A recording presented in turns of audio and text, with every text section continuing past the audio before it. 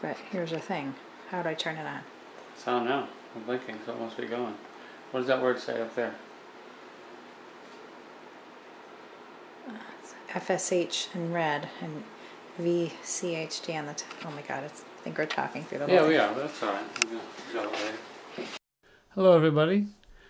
Uh, as you can see here, we're getting ready to do our faux brick on our uh, kitchen wall. What we've done is taken down the beadboard that was there, filled in all the nail holes, um, sanded everything down, and gave it a quick coat of primer. Then I measured out uh, the size of what a brick is. I measured an actual brick and just measured out, uh, notched lines along the edge of each wall, and we snapped a chalk line across. And I'm just running tape along the chalk line, as you can see. Working on the horizontals first, and later I'm going to come along and do all the verticals after measuring all those out. This is kind of a painstaking process. It takes a while, but uh, well worth it in the end. The masking tape I'm using is from Walmart. I believe it's 7 16ths of an inch wide. It was like 70 cents a roll.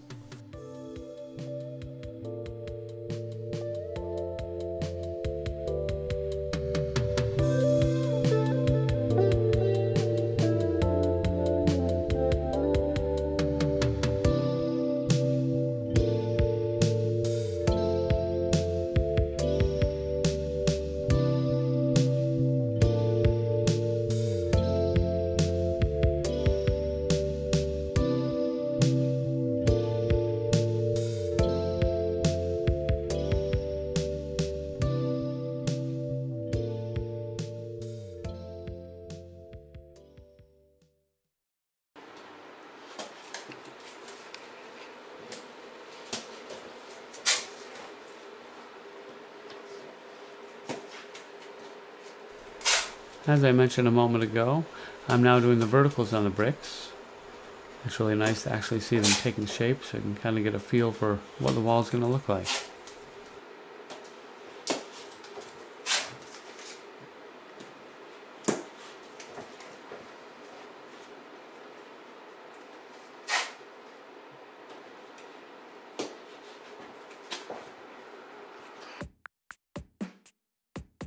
Now I'm applying the joint compound. Uh, I got this at Home Depot. I think it was $17 for the five gallon bucket or so.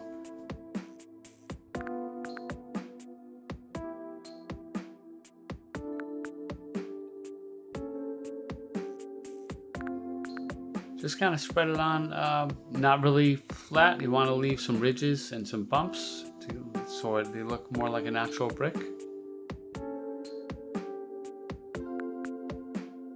Was a little too thick, so I added some water to mix it up a bit so it'll spread a little thinner.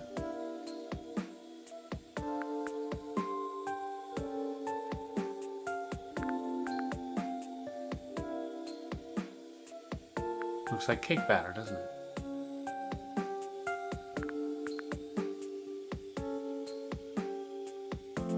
Maybe I just like cake.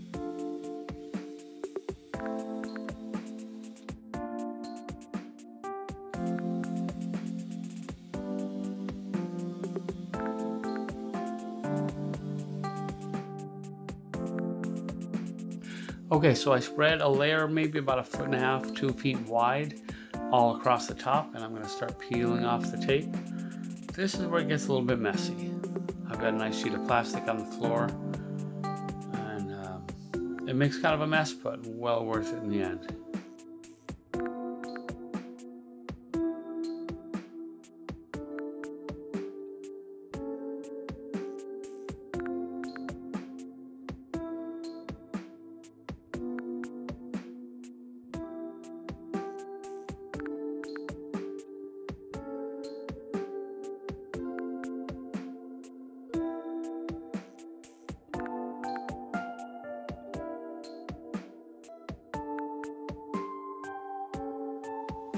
So I continued working in uh, about two foot sections um, all the way down the wall. So we got down to the bottom. This part actually went quicker than I thought. The preparation, uh, taping and everything took longer. Um, so what we have here, I'm just about finished. When this is done, what we did was we ran a dehumidifier and a fan overnight to make sure everything was nice and dry uh, before the painting began. And once everything was dry, if we noticed any high ridges, I would just take a putty knife and scrape those off um, to make them look more like natural brick. And here comes the fun part. This is a little bit of craft paint you can find at Walmart for a dollar. I did get a brown color, but right now you see me putting on a slate gray paint that we had laying around the house. I'm sorry to say, I don't know how much it was or the name brand. We just ha had it lying around the house and I've since thrown it away. But it is a nice dark slate gray color. As you can see, that's the first coat of the paint that went on and you're starting to see the bricks take shape. Before that went on, however, I did touch up where there might have been a chalk line here and there, um, or it just looked a little dingy from the primer. I would go over it with the chalk paint in between, touch up little areas. Now you see some brown craft paint over uh, the gray and just kind of in little spots so it looked a little natural. You don't have to be an artist, you don't have to be particular about it. Just try to picture what a brick looks like. Now I'm using a Rust-Oleum chalk paint and it's a pint for about $25. This is the most expensive part, but oh boy, does it look great. It looks like a nice German schmear. You want to just uh, dip the paint in the can and brush off as much as you can, a lot of it actually. You just want just a light coat because you're lightly brushing it on so you still see the color of the brick coming through and the white is what you would do in a German schmear. You're painting over that to give it a whitewashed effect.